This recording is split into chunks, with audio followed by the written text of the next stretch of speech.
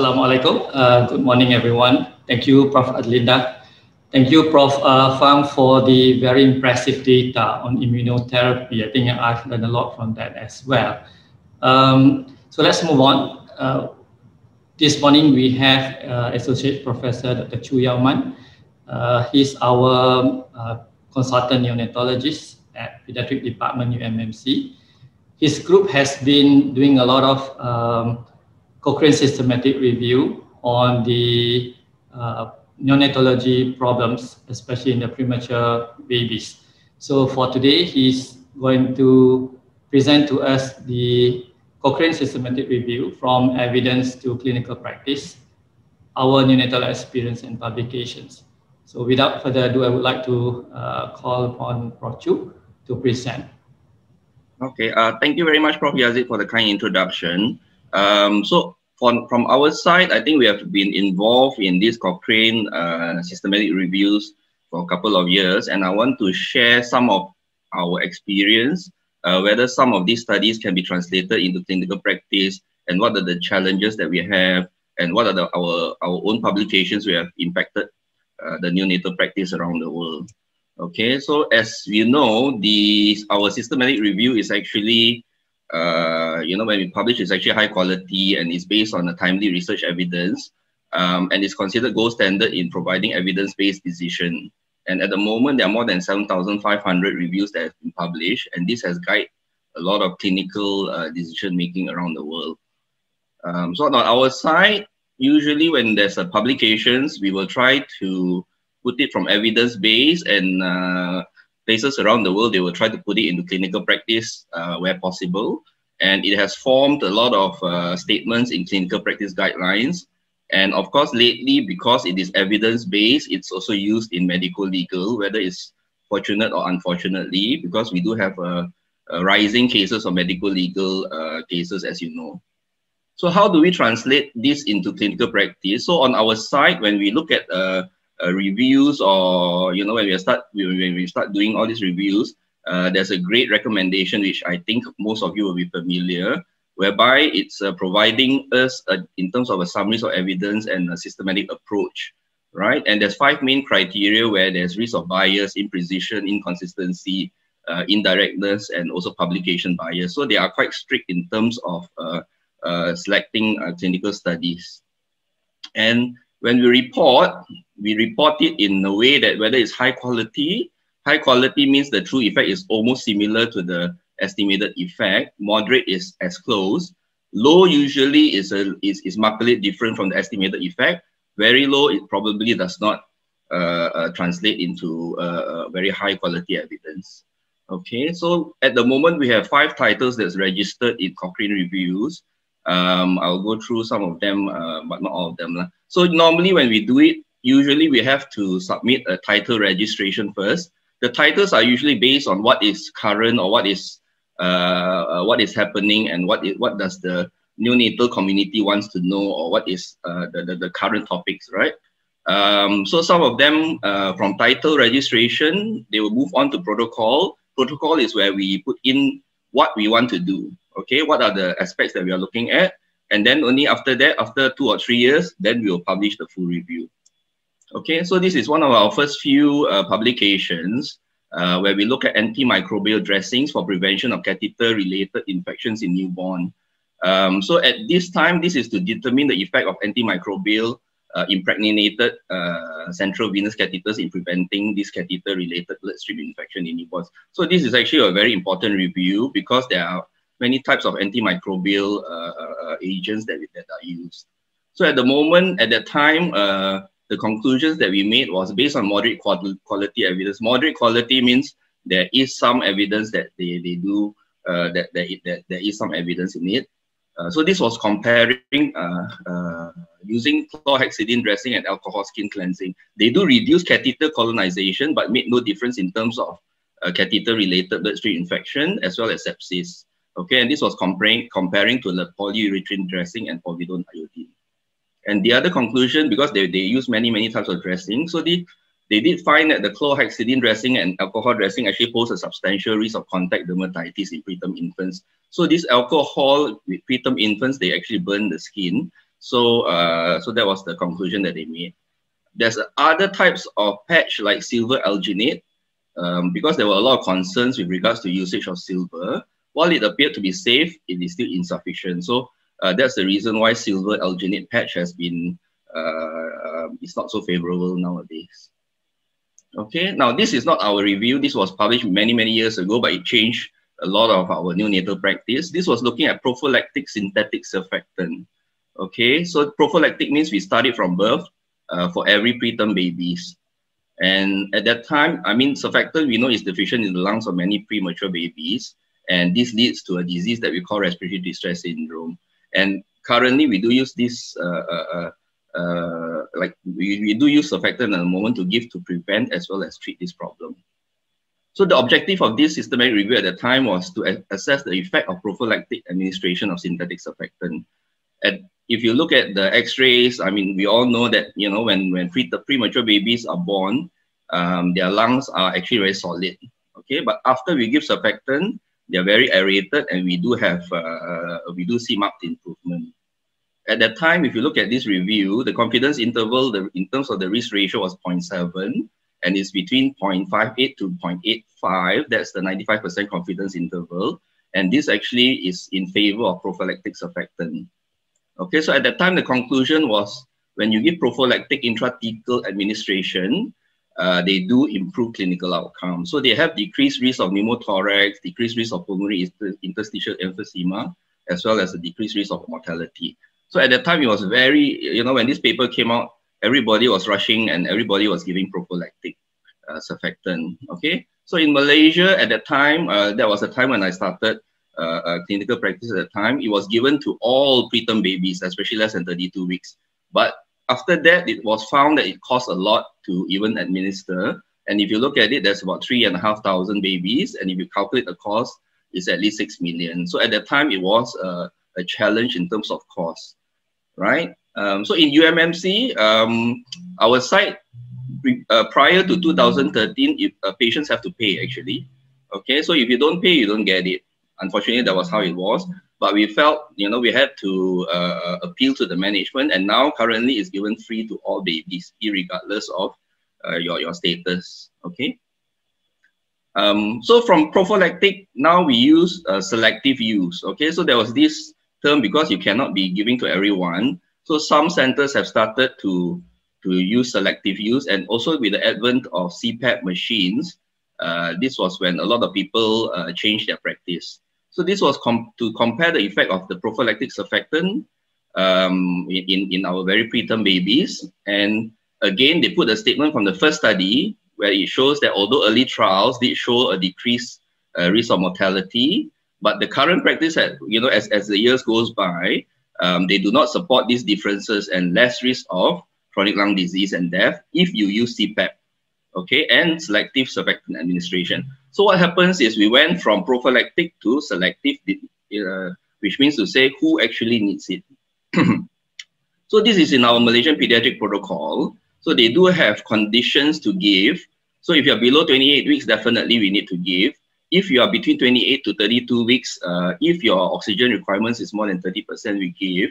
Uh, and normally the way we give is there's this thing that we call INSURE technique where we intubate, we give the surfactant, and then we extubate to CPAP. So that changes a lot of our practices in terms of intubation. We do not intubate a lot of babies nowadays. We try not to because of complications of uh, intubation. Okay. Now, uh, neonatal jaundice. So this is uh, one of our areas of one of my areas of uh, interest. Um, as you know, for jaundice, we use phototherapy. That's the mainstay, okay? Um, and years ago, or rather in early stages, when any baby comes in with quite severe jaundice, most clinicians will use fluid. So they will put the baby on IV drip, okay? Uh, because it was postulated there's a dilutional effect. It brings down the bilirubin faster, you know, and if you give oral fluids, it enhance the peristalsis. Okay, so there were a lot of theories in with regards to this. Um, and even if you look at the guidelines around the world, this is in Canada. It's also written, this was in 2007 guidelines. Uh, it's written, even you're non-dehydrated, okay? Even if you're not dehydrated, but you come in with severe jaundice, um, and, you know, and if you give extra fluids, it's postulated or it is proven, or rather, uh, you know, if you look at evidence, is uh, evidence level 1B, it reduces the risk of exchange transfusion. So there was actually a proponent that if you come in with severe jaundice, they do give fluids. Now, so that means the, clinic, uh, the clinical practice at that time was if you come in with severe jaundice, you receive IV fluids. So every baby practically was on IV fluids. Now, so we, we came up with this review uh, that was in 2017. Okay, so this was a big review, uh, mainly because uh, everybody was giving fluids, and uh, actually the WHO asked the Cochrane group to expedite this uh, review because it was very important. And at the time, it was to assess the risk and benefit of fluid supplementation uh, you know, for babies who require jaundice. So if you look at this, right, so at four hours, if you give fluids, there is a mean difference, okay? So it makes a difference, okay, if you do at 12 hours. If you look at, uh, sorry, four hours after giving fluids, but if you look at 12 hours, 18 hours, it makes no difference, all right? So, and what is more important nowadays when we look at this, it's not, uh, it's not the bilirubin that comes down, but how many patients actually develop abnormal neurological signs. And if you look at it, none of the studies actually reported any kind of side effects of abnormal neurological signs. Um, so we concluded that at that time was the serum bilirubin, yes, it was lower at four to eight hours, but after that, it makes no difference, okay? So the bilirubin levels uh, at 12 hours, 18 hours made no difference at all. And so we concluded at that time, there's no evidence that IV fluid supplementation affected major out clinical outcomes, uh, you know, like cerebral palsy, uh, kernicterus, right? Um, and uh, and at that time, it may reduce it at a certain time point, but it's unclear whether it translates into important clinical benefits. So, um, so I was in this committee for development group to publish this management of neonatal jaundice. So this is the uh, CPG that we use nowadays all around Malaysia.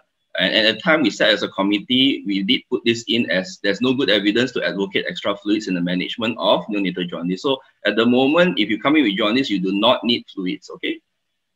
And, and so if you look at it, how we evolve over time, people have looked at short versus long-term outcomes. Are you looking at reduction in bilirubin? You know, it looks good, okay, but long-term, what does it do? All right, what are the neurodevelopmental outcomes are we looking at? So that is more important. You can do something, but if at the end it does nothing, you know, the babies are still well, it may not be a, a good intervention, right? But if it does, then yes, then it, it may be put in.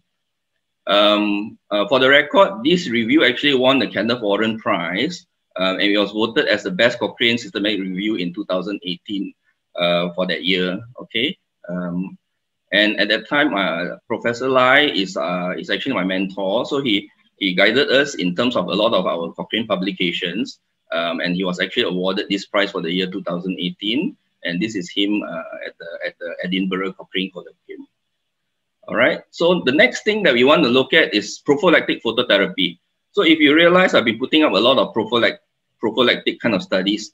Um, people have evolved uh, in the neonatal world. There's a lot of things that was prophylactic. Okay, from indomethacin to phototherapy to a lot of uh, uh, interventions that we want to do to prevent certain complications. So this is to look at prophylactic phototherapy to prevent jaundice in preterm infants.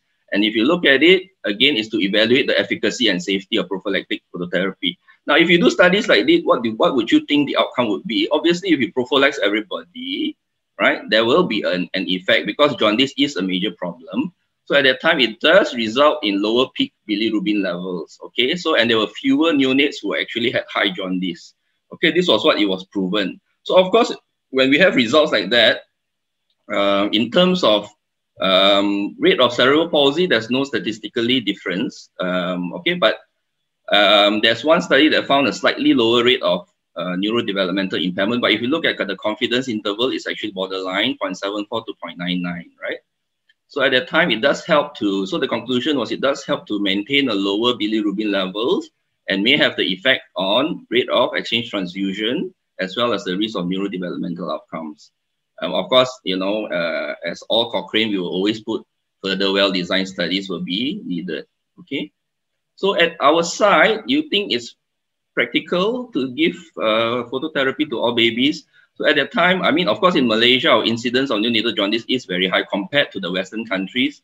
Uh, the Asian countries do get it worse, okay? And out of this 75%, 30% uh, can have severe jaundice. And if you look, look at Malaysia, there's more than half a million uh, babies per, per year that's delivered. Um, and if you factor in the cost of phototherapy, and we are not sure how long this prophylactic phototherapy. Some studies use it for three days, some use it for five days. So if you use it for everybody, your whole postnatal ward will be blue in color. Um, but of course, it costs a lot of money as well, right? So for our side, even though we acknowledge in our CPG that they do work, they do reduce exchange transfusion by 78%, and they do reduce the rate of neurodevelopmental outcome uh, because of the lower peak, but we felt it is not so practical to be advocating this for everybody. In the sense that if you can do it, fine, but if you can't, it's not a necessity. Okay, so in our recommendation, we will still put it to put it to, as in the phototherapy, we should commence it only if you need it. Okay, so from again, same like the surfactant, from prophylaxis, we have went, we have gone on to who actually needs it, right? So in our CPG, we do have a table of the levels of phototherapy of when to start and and uh, at different age group. Okay, so this is uh, so from then we need to look at does this really work and who needs it. Um, and this is actually published about three months ago. So this is to look at high versus low dose conventional phototherapy for neonatal jaundice. And again, we need to look at from prophylaxis, we are going to look at who actually needs it. Okay, so again, this is to assess this high dose or low dose. So again, people use single photo, double photo, but at the end of the day, we have to define what do you mean by single, what do you mean by double. So for us, we need to define it in a sense of we need to measure, right? Something we need to measure. So in the sense that, it, uh, so we actually define the high dose means it's more than 30. Okay, so if low dose, it will be less than 30. So there has to be certain definition in terms of the dose of phototherapy. But we at the time, at this time, we want to look at uh, long-term neurological outcomes, right? Like kernicterus, cerebral palsy, right? This is more important than actually reduction of bilirubin. So again, if you look at our outcome measures, so primary outcomes is mainly neurological from acute bilirubin and encephalopathy, kernicterus, cerebral palsy, and of course mortality. And if you look at the secondary outcomes, don't, don't, don't, don't worry about this. The reason why I put all this up is when we put up a Cochrane reviews, we have to think of every single outcome or every single thing that is important, right? So again, number one is bilirubin level and all the others. Uh, for every outcomes, we have to actually define the outcomes. Um, okay. And this is the latest one that we have actually, we, that, that we will put in as a review. This is to look at lutein and zeaxanthin to reduce morbidity and mortality in preterm infants. Um, so basically, this review is about uh, using these antioxidants. Okay, now we know that preterm infants can develop retinopathy or prematurity, eye problems, NEC, uh, you know, bleeding in the brain, bronchopulmonary dysplasia. So they can have every system affected. Okay, and of course, we do postulate that oxygen-free radicals, again, is a hot topic at the time, and even up to now, that they cause damage. So there were, there's a lot of potent antioxidants that's come up, and this is one of them, okay? And it's also postulated that it has anti-inflammatory properties. Um, this is where the notion of carrot is good for your eyes, right? So carotenoids is found in human milk, it, and that includes lutein and zeaxanthin, beta-carotene, and lycopene. So again, many years ago, the, the adult uh, ophthalmology group actually published uh, uh, usage of lutein and zeaxanthin. So these are the preferred antioxidants for age-related macular degeneration. And this is to compare with beta-carotene because there is a paper that actually quoted the increased incidence of lung cancers with beta-carotene, but these are in the group of smokers, okay? And because of that, uh, people have come up with alternatives like lutein and zeaxanthin. So this is to assess the effective the effectiveness of lutein and zeaxanthin supplementation to reduce this morbidity and mortality. And of course, we want to look at adverse effects as well. Um, and again, the main outcomes that we are looking at is to prevent or to look at the outcomes in terms of retinopathy or prematurity, okay? Because that's the purpose of the, the, the antioxidants in the first place. So, um, so this protocol was published about three years ago. And so now it's time to put in a review and that's, that's what we have been doing, okay? And again, the secondary outcomes, these are mainly neonatal outcomes to see whether it makes or makes any difference or not. So this is in the time of uh, doing this review. Um, so basically, we looked at, uh, me and Dr. Yip, another of my co-authors, actually went through 5,000 over articles, uh, took us almost a month plus. And at the end of the day, we came up with four studies, all right? So you have to go through the records, go through uh, all the databases, and then there's a program that we put in. And at the end, it will sieve out and, and, and come up with four studies, but you have to pick the studies one by one, okay? So again, when we looked at this, this is not published yet. So uh, we are just going to put into the review group. So basically, it shows that if you are ROP stage three and above, okay, um, there is some effect. So if you look at the odds ratio is 0.44 uh, with a confidence interval of 0.25 to 0.78, all right? So it does show that for ROP stage 3 and above, uh, there is some uh, uh, favorable effects. Okay, so in our conclusion, we would have put as there's moderate certainty evidence that this supplementation may reduce occurrence of ROP stage 3 and above. Um, but on any stage ROP, there's no strong evidence, and there's no evidence that it will help with IVH, NEC, or with all the other neonatal outcomes, basically. And again, if you look at the, the, the reports, there was two, two studies that report adverse uh, outcomes, uh, but uh, both studies stated there were no adverse outcomes. Okay, so in summary, we know that Cochrane uh, the systematic reviews are gold standard, and it does uh, uh, affect our clinical practice guidelines. Um, the important thing to look is it doesn't mean that if we publish something, you need to apply it strictly, but because you have to look at our local settings. So again, if you look at our local settings, it may apply in even in our own self. Klang Valley, yes, we may do, but in certain places like Sabah, where the resources are actually very limited, right? So they may have a certain certain kind of clinical practice, and even different regions in Malaysia, they would they may or may not. Most of the time, it will. Okay, it will just take time to to trickle through. Uh, financial implications is very important because we cannot be, be, be, be spending money on everything. So you have to do a cost benefit analysis. And lastly, to look at the medical legal implications. Just a word on that. Um, you know, I've been involved in a few medical legal cases. Uh, over the past few past few years. We do quote Cochrane studies, but at the same time, uh, what is more important is what does the other people do or, or what is the standard practice, let's put it that way. All right, so with that, I think I will conclude my talk. See, okay. Uh, thank you, Prof. Choo, uh, for the review of the systematic Cochrane review under your unit.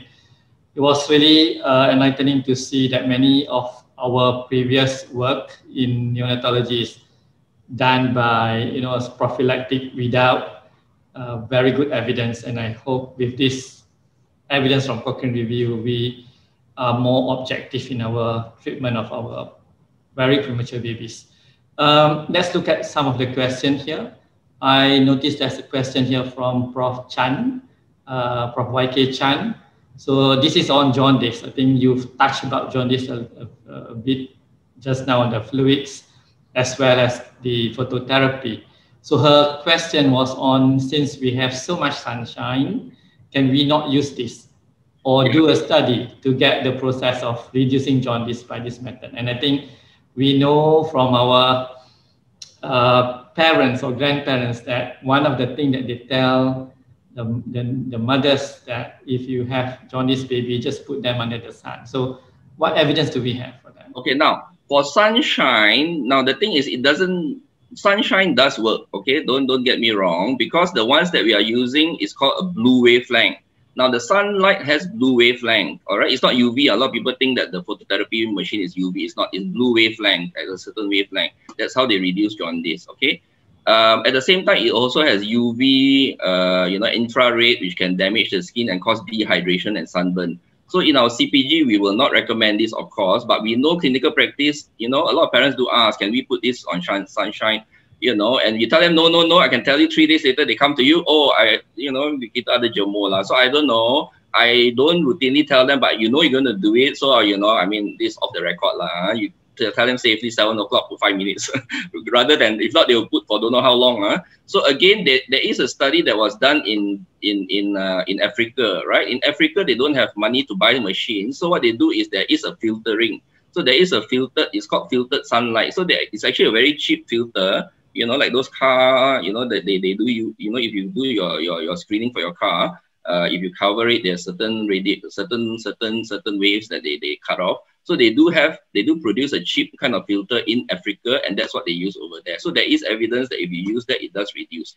Um, but in Malaysia, of course, we cannot be putting for you know for, for X amount of hours because it is actually very, very dangerous. And because we have a safer method to do it, uh, we will not propose them to put under the sunshine. Lah. Do you think you will get an ethics approval if you want to do it? uh, you know, I don't think so. yeah. Okay.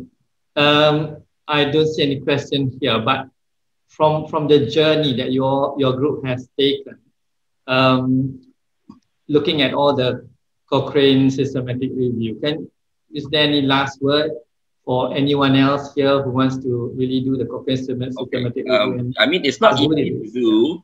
Um, it is not easy to do, to be honest, because number one, you have to get the title registered. And normally they will want somebody who has done the Cochrane with track record to actually put in and go in together. If you go in alone, you will probably not get approved because you know you have to prove because otherwise you go in and you don't publish you know and there's always a pressure to publish because uh, when you put in a title within a year or so you have to come up with a protocol and within two years you have to come up with with the review and every two years you actually have to update so uh, there must be a, a, a, kind of a track record but if you know but if you any one of you interested you can ask me and then i can get get with prof like prof Lai is my our mentor and he has guided us you know, in terms of all this. So I still ask him, I, I mean, I'm not an expert in Cochrane review, but uh, but he has helped me a lot. La. Yeah. All right. Um, thank you very much, Prof. Choo. I would just uh, give this opportunity to anyone out there who wants to ask any question before we close this session.